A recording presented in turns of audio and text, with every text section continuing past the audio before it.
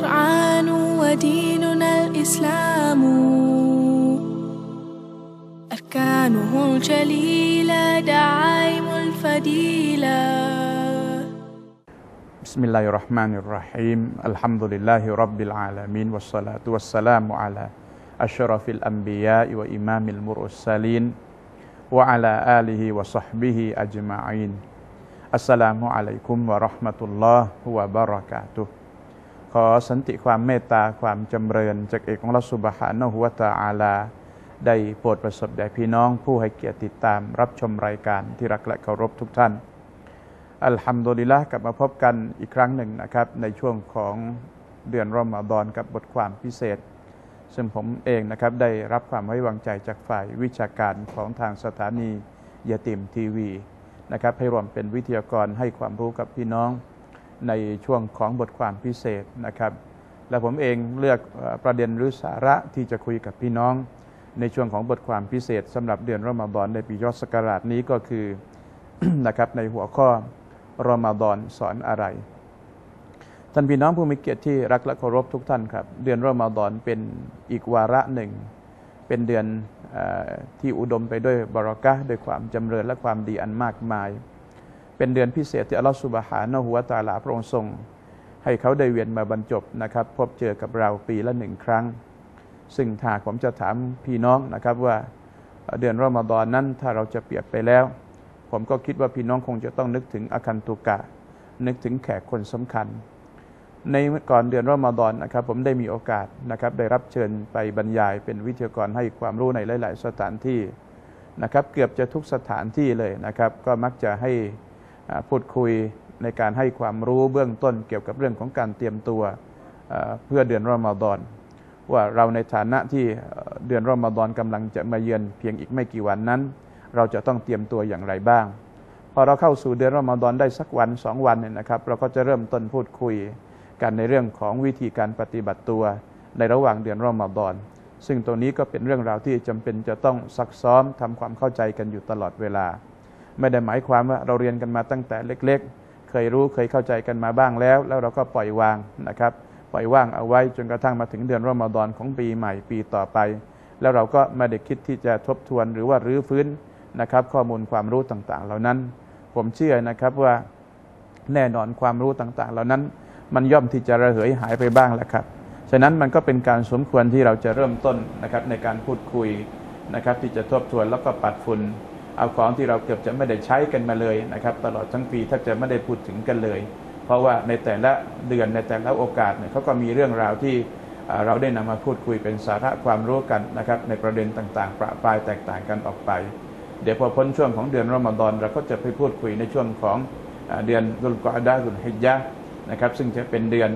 ที่เกี่ยวข้องกับเรื่องของศาสนพิธีที่สำคัญอีกประการหนึ่งก็คือเรื่องของฮัจญ์ จะได้คุยเกี่ยวกับเรื่องของการทำอุบัติยะการเชิดสักรุบาล อะไรต่างๆ นานาอีกมากมายเรื่อยไปตลอด ฉะนั้นในช่วงของการมาเยือนของเดือนรอมฎอนเนี่ยจึงเป็นโอกาสสำคัญเป็นวาระที่พิเศษที่สุดที่อัลลอฮฺสุบฮานะฮูวะตาลาพระองค์ทรงประทานเป็นโอกาสให้กับพวกเรา จะเรียกได้ว่าเหมือนกับเป็นโบนัสประจำปีเลยก็ได้ ท่านพี่น้องผู้มีเกียรติที่รักและเคารพทุกท่านครับ ถ้าผมจะถามพี่น้องนะครับว่าสมมุตินะว่าเราเนี่ยนะครับมี คนที่เราเคารพเรานับถือแล้วเราก็รัก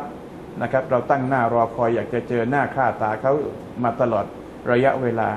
และเขาก็บอกหรือแจ้งข่าวให้เราทราบว่าอีกหนึ่งสัปดาห์หรืออีกสองสัปดาห์หรืออีกประมาณหนึ่งเดือนเนี่ยเขาจะมาบ้านเรา แล้วก็จะมาพักค้างที่บ้านเรานะครับสัก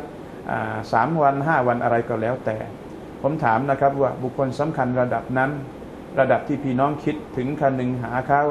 ถามหาเขาบ่อยๆนะครับ แล้วก็เขาไม่เคยมาบ้านพี่น้องเลย แล้วก็เขาจะมาพักค้างกับพี่น้องนะครับสามวันห้าวันอะไรก็แล้วแต่ ผมถามนะครับว่าพี่น้องจะอยู่ในสภาพปกติ หรือพี่น้องจะอยู่ในสภาพที่กระตือรือร้นนะครับสนใจเอาใจใส่ ต่อการที่จะเตรียมความพร้อม เตรียมสถานที่เตรียมที่พักนะครับ เตรียมอาหารกับข้าวกับปลาต่างๆ เพื่อที่จะต้อนรับบุคคลสำคัญของพี่น้อง แน่นอนแล้วครับพี่น้องจะอยู่เฉยๆไม่ได้ พี่น้องจะต้องเตรียมตัวอย่างน้อยๆนะครับ ที่นอนนะครับผ้าปูที่นอนปลอกหมอนผ้าห่มอะไรก็แล้วแต่ พี่น้องจะต้องหาผืนใหม่ๆหาของดีๆนะครับ มาให้แขกคนสำคัญคนนี้ใช้นะครับ แน่นอนแล้วครับอาหารที่เราจะเตรียมไว้สำหรับปรุงเลี้ยงเลี้ยงแขกคนสำคัญเนี่ยนะครับก็จะพี่น้องก็จะต้องเตรียมวัตถุดิบนะครับดีๆเอาไว้ทั้งหมดเลย ผมเชื่อหลายคนผมเองก็เคยนะครับมีบุคคลสำคัญเขาจะมาพักค้างที่บ้านเราเนี่ย เราก็จะเราก็จะวางแผนว่าเดี๋ยวเราจะทำเมนูอะไรสำหรับต้อนรับเขาจะเลี้ยงเขาเราก็จะต้องออกไปซื้อไก่ซื้อปลาหมึกซื้อเนื้อซื้อผักซื้อผลไม้ต่างๆ มาตุนเอาไว้ในตู้เย็นของเรา เพื่อที่ว่าเวลาแขกเข้ามาเนี่ยเราจะได้มีอาหารดีๆ ต้อนรับเขาต้นหมากรากไม้ต่างๆนะครับหน้าบ้านของเราเนี่ยขยะนะครับต้นหญ้าต้นอะไรก็แล้วแต่ เราก็จะตัดจะแต่งนะครับให้ภูมิทัศน์บริเวณบ้านของเราเนี่ยดี บางครั้งเนี่ยนะครับถึงขั้นถถ้าเป็นสมัยก่อนเนี่ยถึงขั้นกับต้องอะไร ต้องล้างพื้นบ้านกันเลย ล้างบ้านเช็ดฝากันอย่างดีเลยละครับ เพื่อที่จะต้อนรับบุคคลสำคัญที่เขาจะมาเยือนในฐานะแขกคนหนึ่งของเรา ที่เราเราเฝ้าเฝ้าถามหาเขาเมื่อไหร่เขาจะมาทำไมไม่มาเลย เราถามหาเขาด้วยความคิดถึงกันหนึ่งหา แต่วันนี้นะครับแขกคนสำคัญที่อัลลอฮฺสุบฮานะฮูวะตาลาพระองค์ทรงมอบให้เขามาเยือนเรานะครับ เป็นแขกไม่ใช่แขกของเราอย่างเดียวนะครับ แขกที่เขามาในนามของอัลลอฮฺสุบฮานะฮูวะตาลา เหมือนกับเราจะเรียกได้ว่าเป็นผู้แทนพระองค์ก็ได้นะครับสำคัญระดับนั้น และเขาก็แจ้งข่าวล่วงหน้ากับเราแล้วนะครับ ว่าเขาจะมาเยือนเรา เขาจะมาพักค้างกับเรา แล้วไม่ได้มาไม่ได้มานะครับ ปุ๊บปั๊บแล้วมาเลย ผมบอกกับพี่น้องแล้วเขาบอกเขาเขาบอกกับเรานะครับว่าอีก 11 เดือนเนี่ยเขาจะวนมาหาเราอีกรอบหนึ่งเขาจะมาเยี่ยมเราอีก 11 เดือนนะครับแน่นอนครับโอกาสที่เราจะเตรียมตัวเพื่อที่จะต้อนรับเขาเนี่ยเราสามารถเตรียมตัวได้อย่างสมบูรณ์แบบที่สุดเลย ฉะนั้น คนสำคัญที่เขาโทรมาบอกเรา เดี๋ยวพรุ่งนี้จะมา เดี๋ยวอีก2วันจะมาอีก3วันจะมาเนี่ยเรายังมีโอกาสเตรียมตัวทันนะครับ แล้วนี่เขาเขาแจ้งกับเราล่วงหน้านะครับ เป็นเดือนๆเลยหลายเดือนสุดได้ซ้ำด้วย ว่าเขาจะมาเยือนเราผมผมจึงเชื่อนะครับว่ามีพี่น้องของเราเนี่ยครับส่วนมากเลยถ้าเกิดจะทั้งหมดเลย คงได้มีโอกาสในการที่ได้เตรียมตัวเตรียมความพร้อม ที่จะต้อนรับเดือนรอมฎอนแล้วท่านพี่น้องผู้มีเกียรติที่รักและเคารพทุกท่านครับรอมฎอนสอนอะไรในวันนี้นะครับในตอนแรก ผมตั้งใจจะคุยแล้วก็นำเสนอกับพี่น้องก่อนเลยนะครับว่าเดือนรอมฎอนซึ่งเป็นเดือนที่มีก็มีวาระมีความสำคัญพิเศษในระดับหนึ่งนะครับ เพราะว่าเดือนรอมฎอนเป็นเดือนที่อัลกุรอานนะครับได้ถูกประทานลงมา เป็นเดือนที่อัลลอฮฺสุบฮานะฮุตะลาพระองค์ทรงพระราชทานฟารดูการจิฮาดเป็นเดือนที่อัลลอฮฺสุบฮานะฮุตะลาพระองค์ทรงบัญญัติเกี่ยวกับเรื่องของนะครับการถือศีลอด ซึ่งถือเป็นหน้าที่เป็นภารกิจสำคัญนะครับของ มุมินของผู้ศรัทธาเลย เดือนรอมฎอนเป็นเดือนที่อัลลอฮฺสุบฮานะฮุวะตาลาให้ท่านนบีมุฮัมมัดสุลลัลลอฮุอะลัยฮิวะสัลลัมได้ทบทวนพระมหาคัมภีอัลกุรอานกับท่านยิบรีนถึงสองครั้งสองคราเดือนรอมฎอนเป็นเดือนที่ท่านรสุลลอฮ์สุลลัลลอฮุอะลัยฮิวสัลลัมได้มีโอกาสทำสงคราม และก็ชนะสงครามนะครับได้หลายครั้ง ฉะนั้นเรื่องราวต่างๆเหล่านี้ผมเชื่อนะครับว่าน่าจะเป็นบทเรียนที่ดี ที่เราจะมานั่งเรียนรู้ไปพร้อม ๆ กันรอมฎอนของท่านนบีมุฮัมมัดสุลลัลลอฮุอะลัยฮิวะสัลลัมนะครับ ที่ท่านได้มีโอกาสถือศีลอดเพียงแค่ไม่กี่ครั้งเท่านั้นเอง เป็นที่ทราบดีนะครับเดือนรอมฎอนที่อัลลอฮฺสุบฮานะฮุวตะลาพระองค์ทรงนะครับทรงกำหนดให้เป็นภารกิจสำคัญของเราประการหนึ่งที่เราจะต้องถือศีลอดถวายเป็นอิบาดะต่อพระองค์เนี่ยนะครับเป็นเดือนพิเศษที่อัลลอฮฺสุบฮานะฮุวตะลาได้มอบสิ่งที่เป็นความดีต่างๆ มากมาย ไม่ต้องอะไรมากหรอกครับแค่อัลลอฮฺสุบฮานะฮุวตะลาพระองค์ทรงพระราชทาน อัลกุรอานลงมาในเดือนรอมฎอนนะครับโดยเฉพาะอย่างยิ่งในค่ำคืนอันวิเศษ คือไลลาตุนกอดก็แน่นอนแล้วครับย่อมเป็นหลักฐานที่ทำให้เราเข้าใจได้ว่า เป็นเดือนที่อัลลอฮฺสุบฮานะวะตะลาพระองค์ทรงทรงเลือกสรรให้เป็นเดือนพิเศษจริงๆชาฮุรอมฎอนนั่นลลดีอุนซิลาฟีฮิลกุรอานเดือนรอมฎอนคือเดือนที่อัลลอฮฺสุบฮานะวะตะลาทรงพระราชทานกุรอานลงมาในในเดือนนี้ เดือนรอมฎอนยังมีความพิเศษอีกมากมายหลายประการ แต่อย่างไรก็แล้วแต่นะครับ ผมอยากจะให้พี่น้อง ได้เรียนรู้ไปพร้อมๆกันนะครับว่าเดือนรอมฎอนที่พวกเราถามหาเขาอยู่บ่อยๆ ครั้ง เมื่อไหร่เขาจะเวียนมาบรรจบอีกครั้งหนึ่ง เราก็ต้อนรับขับสู้เขาเป็นอย่างดี ทีนี้การต้อนรับขับสู้เนี่ยนะครับ เราก็ต้องต้องเตรียมความพร้อมว่าแขกที่เราจะมาเยือนเนี่ยนะครับเขาเขาชอบแบบไหนเขา happy กับเรื่องอะไรบ้าง เราเองก็เหมือนกันนะครับ สมมติถ้าเราทราบว่าแขกที่เขาจะมาพักบ้านเราเนี่ยคนที่เรารักคนที่เรา เรานับถือเขาคนที่เราจะต้องให้เกียรติและต้อนรับเขาอย่างดีเนี่ยนะครับเขาชอบอาหารอะไร เราก็จะต้องอะไรเตรียมเมนูอาหารที่มันเป็นอาหารมื้อโปรดของเขาปรุงอาหารก็ให้มีรสชาติที่ถูกปากเขาเราจะเตรียมอะไรก็แล้วแต่ก็ต้องเตรียมในสิ่งที่ถูกใจเขาเราจะไม่กระทำในสิ่งใดก็แล้วแต่ที่ทำไปแล้ว จะทำให้เขารู้สึกอะไรครับ รู้สึกไม่ดีนะครับกับการมาเยือนบ้านของเรา เช่นเดียวกันเดือนรอมฎอนของเราสุบฮานะฮุวะตาลาที่พระองค์ทรงประทานลงมานะครับ แล้วพระองค์ก็ทรงมอบหมายภารกิจ มอบหมายกิจกรรมต่าง ๆ ให้เรากระทำตลอดทั้งเดือนรอมฎอนเมื่อสักครู่ผมบอกกับพี่น้องไปแล้วนะครับ ว่าเราสุบฮานะฮุวาตาลาให้ท่านนบีมุฮัมมัดสุลลัลฮุอะลัยวะสัลลัมได้นะครับได้ได้ได้ได้บอกเรื่องราว แล้วก็ปฏิบัติเรื่องราวต่างๆ ที่มีความสำคัญอย่างยิ่งในช่วงของเดือนรอมฎอนเพื่อให้เป็นบทเรียนที่ดีกับพวกเรา ฉะนั้นถ้าผมจะเปรียบให้พี่น้องฟังนะครับว่าเดือนรอมฎอนที่เรากำลังจะเรียนรู้ทำความรู้จักไปพร้อม ๆ กันเนี่ยนะครับภายในระยะเวลาเพียงแค่ไม่กี่นาทีไม่กี่ ชั่วโมงนะครับที่เราจะได้มีโอกาสพูดคุยกันในเดือนรอมฎอนเนี่ยพี่น้องจะต้องรู้จักเดือนรอมฎอนให้อะไรให้ได้มากที่สุด เพื่อที่เราจะได้ได้สัมผัสกับความอบอุ่น สัมผัสกับกลิ่นไอแห่งความศรัทธา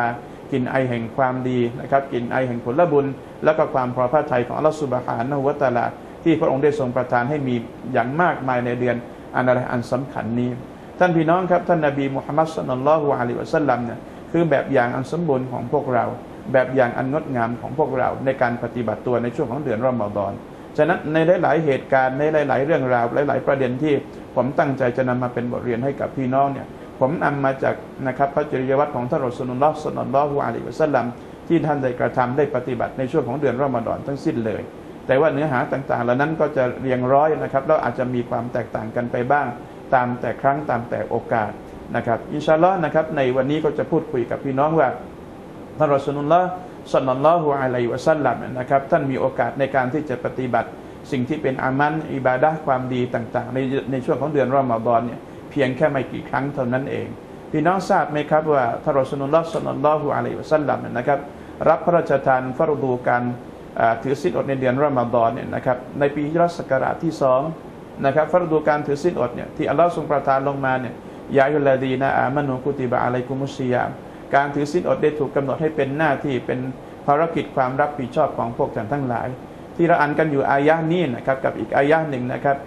ฟามันชฮิดามิงกุมุชาฮรฟันยาซุมุใครก็แล้วแต่ที่มีอายุไขอยู่ยืนยาวจนกระทั่ง ถึงอะไรถึงถึงเดือนรอมฎอนที่เป็นเดือนที่มีปรากฏทีล้านจันเซียวแล้วเนี่ยนะครับนั่นแหละคนคนนั้นต้องถือสิ้นอดพระดูการถือสิ้นอดนะครับได้ถูกประทานลงมาครั้งแรกในปีรัสกราชที่สอง และท่านรอสุลลอฮ์ صلى الله عليه وسلم เสียชีวิตในต้นปีฮิจเราะห์ศักราชที่นะครับที่ 11 ฉะนั้นก็เท่ากับว่าท่านรอสุลลอฮ์ صلى الله عليه وسلم เนี่ยมีโอกาสถือศีลอดตลอดทั้งชีวิตของท่านเนี่ยเพียงแค่เพียงแค่ 9 ปีเท่านั้นเองรอซูลมีโอกาสเจอเดือนรอมฎอนแล้วก็ได้มีโอกาสปฏิบัติศาสนกิจต่างๆนะครับเป็นระยะเวลาทั้งสิ้นประมาณเพียงแค่ 9 ปี 9 รอมฎอนเท่านั้น ฉะนั้นถ้าผมถามว่าอ้าวแล้วพี่น้องเนี่ยถือศีลอดคนละคนละกี่ปีแล้ว คนละกี่รอมฎอนแล้วพี่น้องก็จะต้องตอบได้แล้วครับ โอ้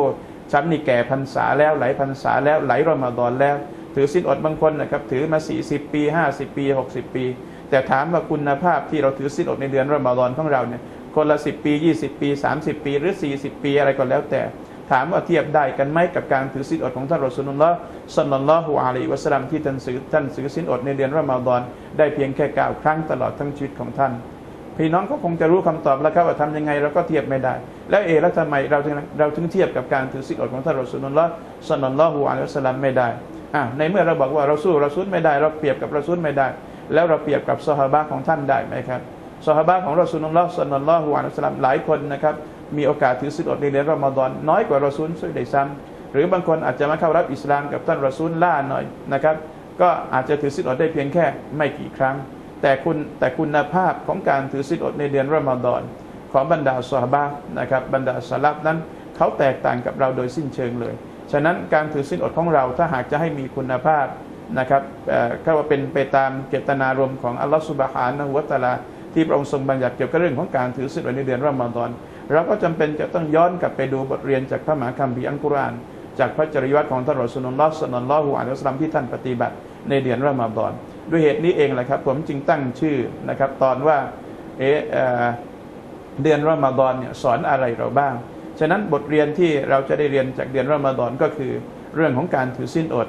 เรื่องของการปฏิบัติตัวนะครับ เรื่องของการทำสดก็เรื่องของการอ่านอัลกุรอาน เรื่องของการนิอาติกาฟเรื่องของการจีฮาดเรื่องของอะไรก็แล้วแต่ ที่เป็นบทเรียนที่เราได้รับเป็นกรณีพิเศษนะครับจากช่วงของเดือนรอมฎอน แต่ศาสนกิจอื่น ๆ อันนั้นเราจะเก็บไปพูดคุยกันในโอกาสหน้าในภายหลังนะครับ ตามความเหมาะสมต่อไปท่านพี่น้องผู้มีเกียรติที่รักและเคารพทุกท่านครับ วันนี้จะคุยกับพี่น้องเพียงแค่สักนิดหนึ่งนะครับ จากอายะอัลกุรอานที่อัลลอฮฺสุบฮานะฮุวะตะลาพระองค์ทรงพูดเอาไว้ ซึ่งเราเองนะครับหรือพี่น้องเองก็คุ้นเคยกับอายะนี้เป็นอย่างดี แล้วถ้าพี่น้องนะครับมีโอกาสไปละหมาดวันศุกร์มีโอกาสไปละหมาดยามาอามีโอกาสไปฟังคุตบะ พี่น้องก็จะได้ยินนะครับบรรดาครูบาอาจารย์ บรรดาคอเตดบรรดาวิทยากรต่างๆ มักจะหยิบยกอายังกุรอานอายะนี้นะครับมาพูดคุยมาทำความเข้าใจกับพี่น้อง จนกระทั่งหลาย ๆ คนเนี่ยนะครับจำอายังกุรอานอายะนี้ได้ละหมาดมักเรียนอิหมานก็อ่านอายะนี้นะครับละหมาดอิชาละหมาดวันศุกร์อิหมามก็จะอ่านแต่อายะนี้แหละครับตอนท้ายของอายะที่อัลลอฮ์บอกยาฮุลลดีนะอามานุกุติบะอะลัยกุมุสซิยามกามากุติบะอะลัลลดีนะมิงกับลิกุมละอัลละกุมตัตตะคูน โอ้บรรดาผู้มีศรัทธาทั้งหลายเอ๋ยเราได้กำหนดหรือการถือศีลเราได้ถูกกาหนดให้เป็นหน้าที่ภารกิจความรับผิดชอบของพวกท่านทั้งหลาย ไม่แตกต่างอะไรกับที่บรรดาชนในยุคก่อนๆก็เคยได้รับภารกิจหน้าที่ความรับผิดชอบตรงนี้มาเหมือนเหมือนกันอัลลอฮ์บอกฉะนั้นพวกท่านทั้งหลายไม่ต้องหนักใจ ไม่ต้องไม่ต้องนึกว่าพวกทั้งหลายเนี่ยถูกอะไรถูกเอารัดเอาเปรียบ ถูกลำเอียงหรือถูกเลือกปฏิบัติ คนสมัยก่อนอัลลอฮ์ก็ใช้ให้เขาถือศีลอดฉะนั้น พวกท่านทั้งหลายในยุคสมัยนี้ก็สมควรที่จะได้รับภารกิจอันทรงเกียรติตรงนี้ เช่นเดียวกันอัลลอฮ์บอกว่าที่อัลลอฮ์สุบฮานะฮุวตะลาพระองค์ทรงใช้ให้พวกเราถือศีลอด ไม่ได้หมายความว่าอัลลอฮ์สุบฮานะตะลาพระองค์จะทรงได้รับผลประโยชน์อะไร จากการที่พระองค์ทรงมีรับสั่งใช้กับเราตรงนี้ แต่ผลประโยชน์สูงสุดอันจะเกิดขึ้นก็คืออัลลอฮ์บอกว่าละอัลละกุมตัตตะกูล ก็เพื่อให้พวกท่านทั้งหลายนั้นนะครับด้วยหมายให้พวกท่านทั้งหลายนั้น ได้เกิดความยำเกรงอินชาอัลลอฮ์นะครับในวันพรุ่งนี้หรือในครั้งต่อไปนะครับ เราจะมีโอกาสพูดคุยกัน นี่คือบทเรียนบทแรกเลยที่เราได้จากเดือนรอมฎอน ที่อัลลอฮฺสุบฮานะฮุตะลาพระองค์ทรงประสงค์หรือทรงบัญญัติ ให้พวกเราได้ถือศีลอดในเดือนรอมฎอนรอมฎอนที่เราถือศีลอดนี้ จะสอนให้เราเป็นคนอะไรครับ เป็นคนที่มีความยำเกรง มีความตักวา มีความสำรวมตนต่ออัลลอฮฺสุบฮานะฮุวตาลา อินชาลอนะครับในครั้งต่อไปเราจะได้เริ่มต้นเรียนบทเรียนบทแรกนะครับที่รอมฎอนหรือการถือศีลอดในเดือนรอมฎอนสอนเราก็คือ สอนให้เราเป็นคนที่มีความยำเกรงต่ออัลลอฮฺสุบฮานุวะตาลานั่นเอง พี่น้องครับอายะกุรอานอายานี้ถึงแม้ว่าจะเป็นอายะที่เราคุ้นเคยความหมาย แต่อินชาลอนะครับความหมายของอายะกุรอานไม่ได้พูดเพียงแค่ว่า เพื่อให้เรามีความยำเกรงแต่จะจะแต่จะสร้างความเข้าใจและก็สร้างภูมิคุ้มกันให้กับพี่น้อง ที่สามารถที่จะนำมาเป็นสาระหรือแก่นสารหลักๆสำคัญสำคัญเลยในการดำเนินชีวิต เพราะนี่คือสิ่งสำคัญที่สุดสำหรับบุคคลที่เป็นผู้ศรัทธา ที่จะต้องน้อมนำมาสู่การปฏิบัติให้ได้ เพื่อให้สมตามเจตนารมณ์ที่อัลลอฮฺสุบฮานวะตะลาพระองค์ทรง พระราชทานเป็นบัญญัติเป็นภารกิจหน้าที่ว่าในเดือนรอมฎอนนี้ทุกคนจะต้องถือศีลอด ในเมื่อเราถือศีลอด เราน้อมนำนะครับสนองรับสั่งของอัลลอฮ์แล้ว มันก็ต้องก่อให้เกิดความยำเกรงสมกับที่รอมฎอนนี้ได้สอนให้เราเป็นผู้ที่มีความยำเกรงต่ออัลลอฮ์ سبحانه وتعالى นั่นเองสำหรับบทเรียนวันนี้นะครับรอมฎอนสอนอะไรนะครับหมดเวลาลงแต่เพียงเท่านี้ กลับมาพบกันในครั้งหน้านะครับในครั้งต่อๆไปกันได้สำหรับวันนี้วะบิลลาฮิตตอฟิกวัลฮิดายะอัสสลามุอะลัยกุมวะเราะห์มะตุลลอฮ์วะบะเราะกาตุฮ์